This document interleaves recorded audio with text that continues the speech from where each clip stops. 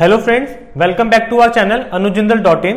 So in this video, we are going to discuss some important questions from the topic simple and compound interest. So this is an important topic if you are preparing for RBI grade B prelims or other examinations like SEBI grade A, NABARD etc. So this is an important topic in the reasoning section. Also it is one of the easiest topics if you understand the concept well. So in this video, I will try to explain you this concept in the most simple terms. So friends, if you like this video, then do not forget to subscribe to our channel to get more such videos. So let's begin. So first of all, I will discuss some basic difference between the two types of interest, simple and compound. So first point of difference says that in simple interest, interest is same for all the years, whereas in compound interest, interest is different for all the years. And this is very obvious, we all know that so if I take an example, so let's say the principal is 100 and let's suppose the rate of interest is 10%. So in case of simple interest, the interest will be rupees 10 for each of the years. But in case of compound interest, the interest will increase. So it will be 10 for the first year, 11 for the second year and 12.1 for the third year. So why the interest is increasing in compound interest? Because in compound interest, we are calculating interest on both principal plus interest. So this was our principal at the beginning of year, right? So we calculated interest 10 for the first year. So our P1 becomes 110, right? So in case of compound interest, now we will be calculating the interest on this 110. So 10% of 110 it will become 11. So this 11 is the second year interest. Then again if we add 11 to 110 so our P2 it will become 121 and again if we calculate 10% of 121 it will be 12.1. So in this way the interest increases. This is the power of compounding right. So this was the first point of difference. Next it says simple interest is smaller than compound interest and compound interest is larger than simple interest and this is very obvious as I have just shown you in this example. Now let us have a look at the formula so the formula for simple interest is simply principal multiplied by rate of interest multiplied by time upon 100. So this is simple interest. So here you have to make sure one thing that both R and T they should be in the same time period. So if R is given in annual terms, T should also be calculated in annual terms. Similarly, if R is given in half yearly terms, T should also be in half yearly terms and if R is given in quarterly terms then T should also be in quarterly terms. So this you have to make sure that the unit or the time period of both R and T is the same. So if R and T are given in annual terms then your interest it will also be calculated in annual terms. So your interest will be annual interest. Similarly if you are given R and T in quarterly terms then you will get interest in quarterly terms also. So the interest will be quarterly interest or 3 months interest. So this is very obvious. You must be knowing this. So this was the formula for simple interest. And if you want to calculate the amount, so amount is simply principal plus interest. And the formula for interest is this only. So amount is basically principal plus interest. And next if I talk about compound interest, so the formula for the amount is principal multiplied by 1 plus r upon 100 raised to the power n. R is the rate of interest and n is the number of time periods. So here again R and n they should be in the same time periods as I have told you for simple interest. So similarly in the case of compound interest also they should be in the same units. So if R is annual n should also be annual and if R is quarterly then n should also be quarterly. So let's suppose you are given quarterly rate of interest so you are given quarterly rate of interest, let's suppose of 4% and you are given number of time periods as 4 years. So this is 4% per quarter, but time period is 4 years. So these two are in different units of time period. So you have to convert either of them so that they both become in the same time period. So one case can be you convert this R into annual interest. So it will become 4% into 4, 16%. So you will get 16% per annum as the rate of interest and n is, is given in yearly terms only. So this is 4 years. So this is one way. And the second way could be that you convert this 4 years into quarterly terms. So 4 years can also be calculated as 16 quarters. So now you have rate of interest in quarterly terms and you have time period also in quarterly terms. Either you can do this or you can do this but you cannot have rate of interest and time in different units right so this was the formula for the amount and the formula for the interest compound interest it will be simply amount minus principal and the final point of difference is that simple interest it is on principal amount only but compound interest is on previous interest as well as principal amount this i have already told you that in compound interest interest is charged on both principal as well as interest now we are done with the concept. Let's move on to the questions. So question 1.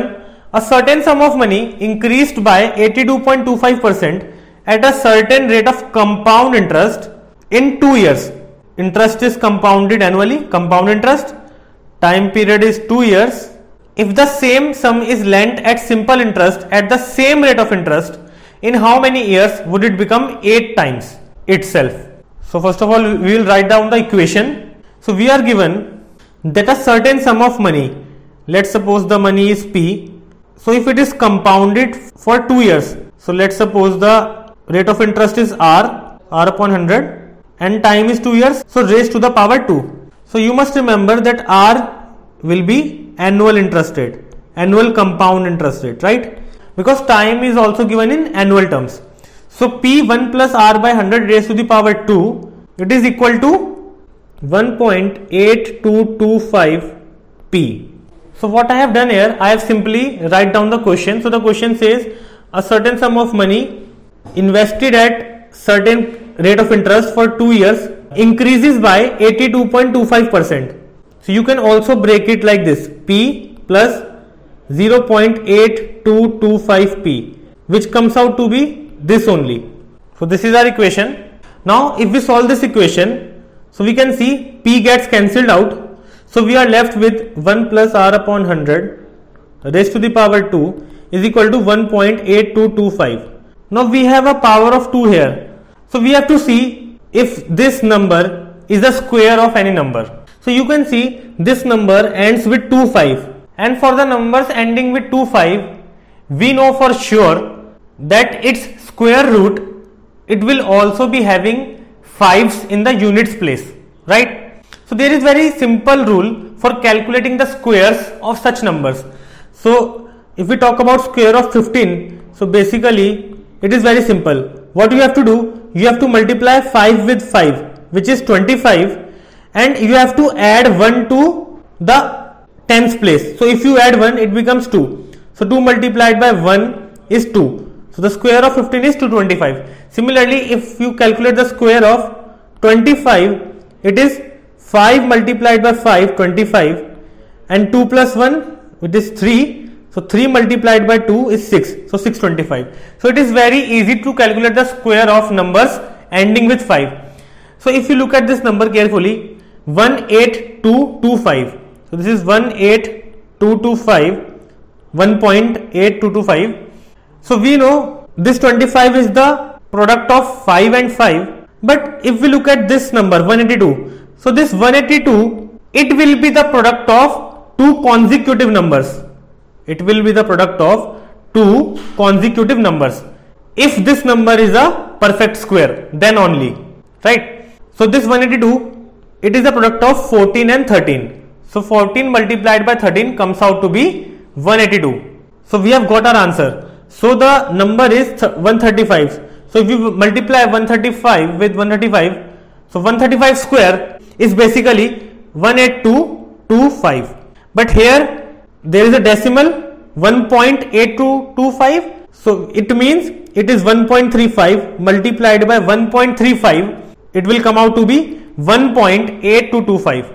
So now we can simplify our equation. So this becomes 1.35 raised to the powers 2 so 1.35 square so this square gets cancelled out so we are left with 1 plus r upon 100 is equal to 1.35 so solving this equation r comes out to be 35 so the rate of interest is 35 percent but the question is not over yet. So the question is saying for how many years this same money it should be lent so that the principal becomes 8 times of itself.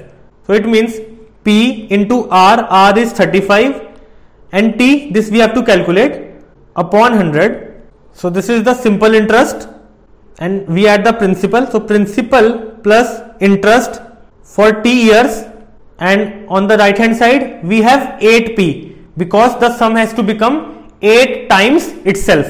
So this equation we have got. So simplifying it further P into 35 into T upon 100 is equal to 8P minus P which comes out to be P into 35 into T upon 100 is equal to 7P. So this 7P basically is the interest because in 8P there was 1P for principal and 7P for the accumulated interest right. So this 7P is the total interest. So now in this equation P gets cancelled out. So we are left with 35 into T upon 100 is equal to 7 so if we solve this equation for t, so t is equal to 7 into 100 divided by 35 and if we simplify it, so we get t is equal to 20. So time is 20 years. So in 20 years, the sum will become 8 times itself.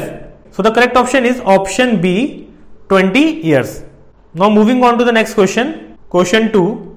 So the question says the difference between the simple interest and the compound interest with interest being compounded annually on a certain sum at 20% per annum for 3 years is 1152 find the sum.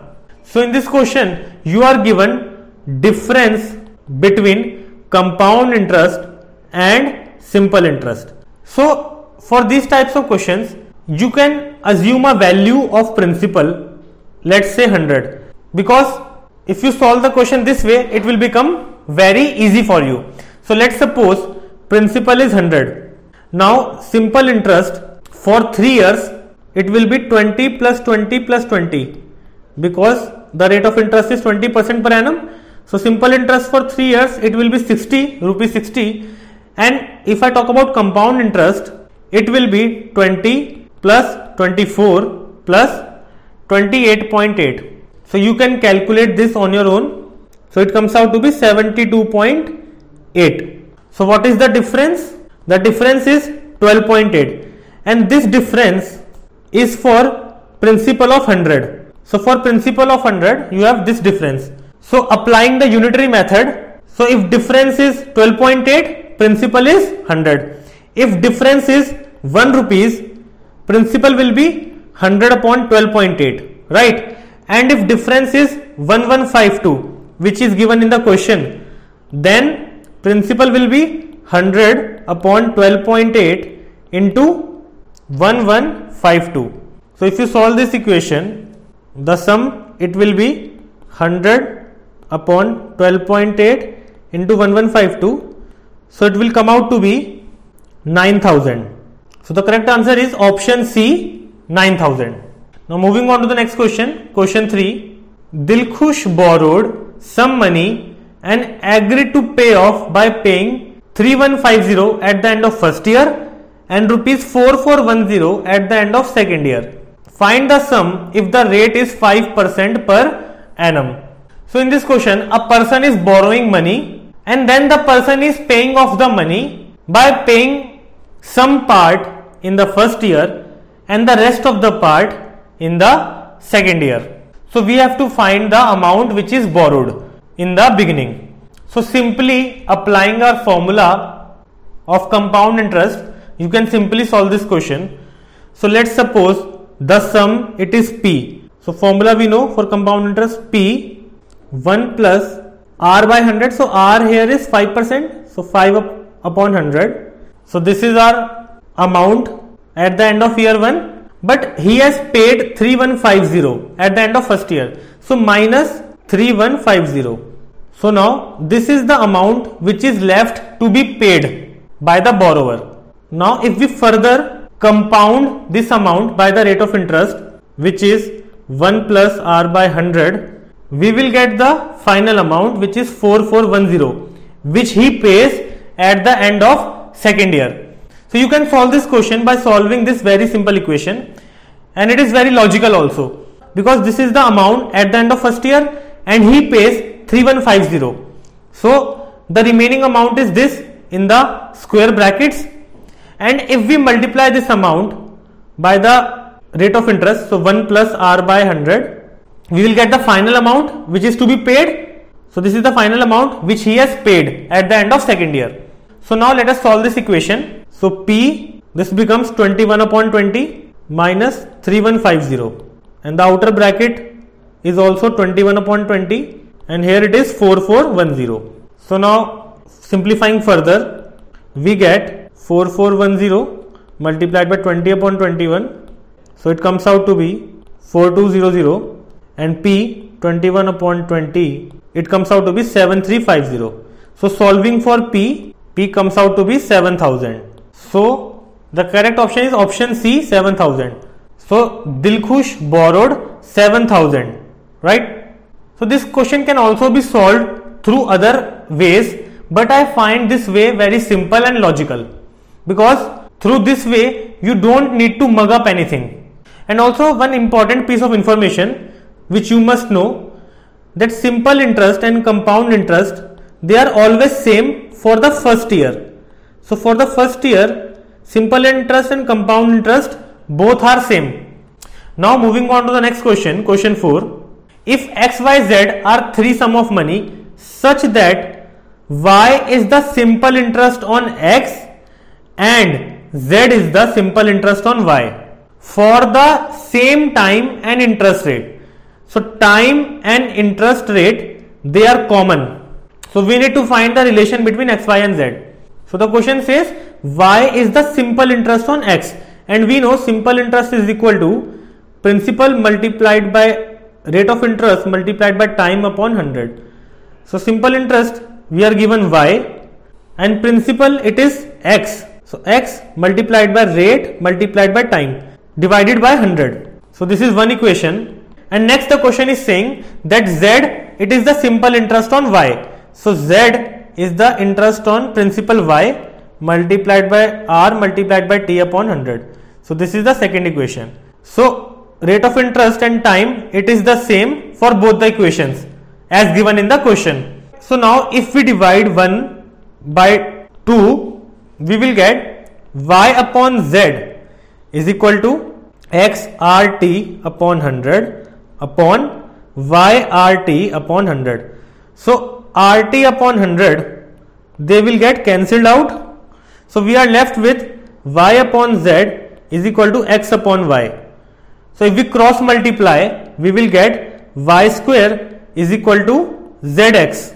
So looking at the options, the correct option is option D, y square is equal to zx. Now moving on to the last question for the day, question 5. A man borrowed 60,000 at simple interest but at the different rates for different time periods. So he has borrowed 60,000 but he has borrowed this money at different rates for different time periods.